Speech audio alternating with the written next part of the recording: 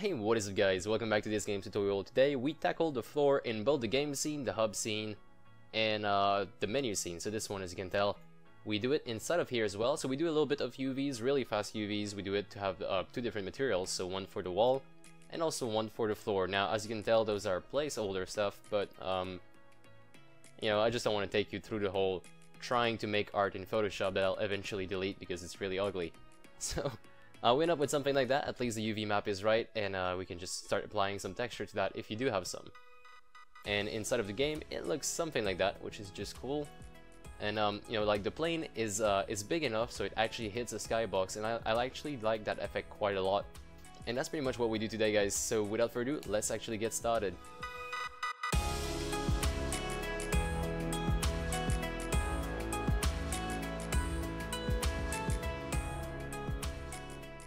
Hey guys, today we're going to be tackling the floor in both this scene and also the game scene, so we're going to do something really, um, really simple. Again, I'll be using placeholder art because I realize that this is going a little bit too far in terms of art because I'm making art that I don't really want to uh, continue in the later run, but at least we're placing stuff and we're just, you know, integrating that art. So um, I will show you what I'll be using as a floor in a second. It is going to be a red texture which is definitely not in the right color palette. But uh, I'm going to be using a red grid just like this. I also have a purple one I could use. Let me just bring that in here. And those are just basically just grids like that. Now, obviously, if you want to be making your um, your own texture, you should actually just do that and uh, put it on these. But we have a little bit of UV to do today. We also have a little bit of, um, well, fixing that little edge in the middle that annoys me quite a lot, this thing. We're going to be fixing that really soon. So let's just get started and let's actually just create a new um, artwork material. This is going to be, say, purple floor, or let's just call it floor. And let's also create another one called wall. And now check out what we are going to do. We're going to go under the material, find, say, a color. For the color of the wall, let's, let's put red on the wall and let's put uh, purple for the floor. So here we go.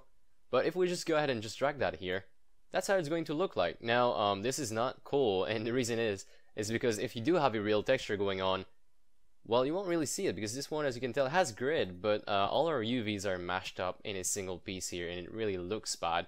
Plus, if we're trying to apply the wall here, it also changes the floor, which is obviously something we do not want, so we are going to go ahead and just start working on that a little bit, and uh, I'm going to open up Blender. So back in my game folder, go under model, open up the hub scene. And this is where we just put our mess. I'm just going to move all of these quickly in the middle. Like so. For no particular reason, to be honest.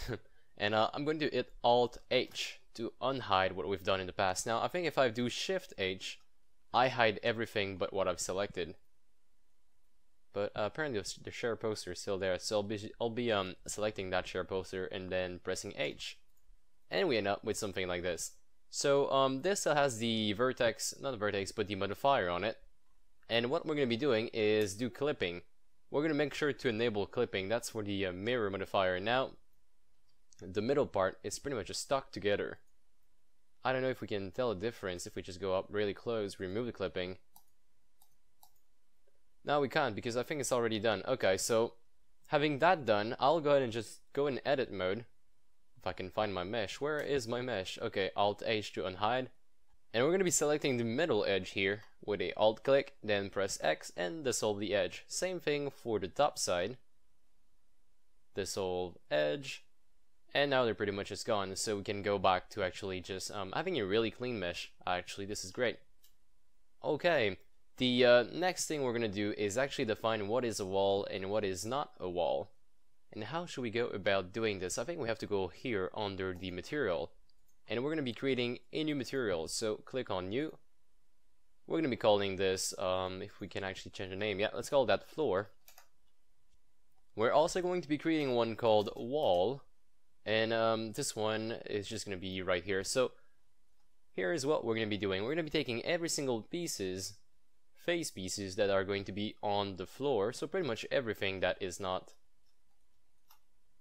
these things and also um, I don't know what to do with the roof actually let's remove it of this So let's take all of this part, then hit assign when having floor selected. Now let's go on the wall and do the exact same thing but for all the other faces. Then we assign this and oh sorry I was still on the, on the floor. Okay let me assign that to the wall and let's see if we can actually have this working. So um, with almost nothing selected I'll go on floor, hit select and it pretty much takes all the floor faces. Now same thing for the wall and it does uh, take the rest so that's good. And now they're split in two different materials. Alright, if we save this and we go over to the export, we export that back inside of Unity in our asset folder, artwork, hub scene. We shall now we shall now have the option to have um, two different material going on. So where is our hub scene right here? And uh, we can actually apply the floor to the floor and the wall to the rest of the thing. And let's actually add these two here as walls. I totally forgot about those. So actually these four, click on wall, assign, save, and if we just go back, overwrite what we had a second ago, you're gonna see that they're now included. Okay, so at least now we have some color splitting going on, but we still can't see the shape, we still can't see the UV just well. So here is what I plan on doing, is um, I'm gonna go right here, and actually do the UV for these, and they're gonna be so simple. Alright, so I'm to be bringing a new window in here, pressing N to remove that, pressing T to remove that, and we're going to be using this window here as a uh, UV window. And now we can move on to all these pieces of here, so including the staircase, I'm going to do U, unwrap, and um, is that going to work? This could actually work if we just scale it the same as the other one, so maybe something like that. And we just place it this way. So this could actually work. Hit save on that and we're going to move on to the walls. Walls are fairly simple so we're going to be taking these two, press U, unwrap, that's fine. These two all press U, unwrap, same thing and then for the roof. And um, did we do these? I think we did. Let's just make sure. And there we go. So we end up with something like that. Um, now if we just press save, and we export this back inside of our game, everything, technically everything should be working just fine. And here we go. Isn't that wonderful? Now, just assume you had the um, good looking texture, you'd get a nice, really nice floor like that. And um, it actually just, you know, it, those are seamless textures, so they fit perfectly if you just keep on going. You could be taking this hub scene and just duplicating it and, uh, you know, it'd work.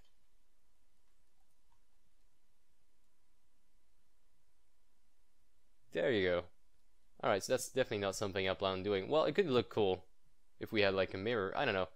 It's really up to you guys. But um, that's pretty much what we do for the floor here, and that is really simple stuff. Now, um, usually the UVs on Unity, they're already done if you just import like a plane or something like that. So we don't really need to do anything else if we want to do it for the game scene.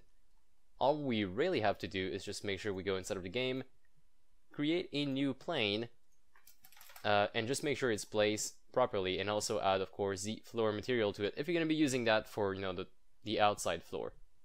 And um I think that's pretty much it actually but you should be creating another texture for that another like outside floor texture. And as far as the size goes in the game let's go check out how it looks inside of the game. So that's definitely too small. What if we multiply that by 10 Hmm, that's too big, but um, as you can tell, it would be nice if it actually hits the skybox. So I'm hitting a skybox with about 4.5 on all axis. So that could be cool. Plus then you get to rotate around and you get that kind of result. So we're now like more in a sandbox and I really do enjoy that feeling.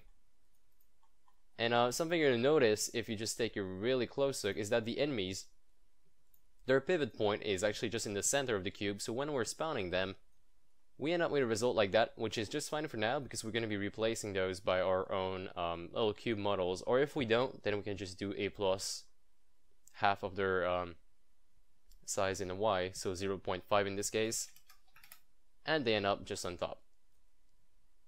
So guys, that is going to be pretty much it. Let's just make sure that we do um, change that plane But let's just make sure that we do change that plane in the game. Uh, I mean, not in the game as well. So this is the floor. And it's on 4.5 on all axes. Alright. So guys, that's going to be pretty much it for this episode. Thanks a lot for watching again, and uh, thanks a lot for just sticking around. I know this is getting a little bit out of hand with the amount of episode we have, but we're gonna end up having a good result. I promise. I, I you know, it's starting to look good actually, just a little bit. Now that we do have colors, so um yeah, if you have any current question, please leave them in the comment section below. Other than that, please check out the Patreon page if you wish to support me. Other than that, please uh, subscribe and stuff like that. I will see you guys in the next one.